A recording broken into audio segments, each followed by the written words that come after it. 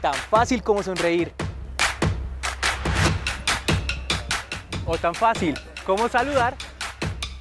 Así de fácil te voy a explicar la diferencia entre nación, Estado y gobierno.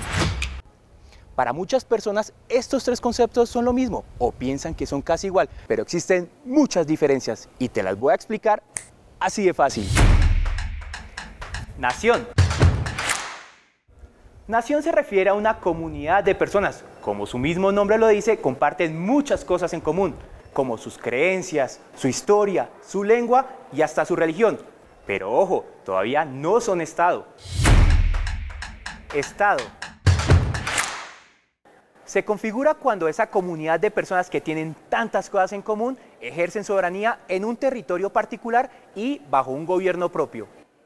Es decir, primero debemos ser una población, santanderianos, costeños, caucanos, isleños, pastuzos, cachacos, es decir, nosotros los colombianos, mano. Estos colombianos debemos estar en un territorio, ese espacio con montañas, mares, ríos, llanos, todo dentro de unos límites geográficos. Y tercero, debemos tener un gobierno. Gobierno. Gobierno se refiere a las personas que administran el Estado, como alcaldes, gobernadores y hasta el mismo presidente, en nuestro país por un tiempo de cuatro años. Repasemos.